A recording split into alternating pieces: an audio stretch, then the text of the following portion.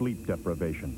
70 million Americans have experienced it, but you don't have to. Try maximum strength Sleepinal soft gels with the sleep aid preferred by 7 out of 10 doctors.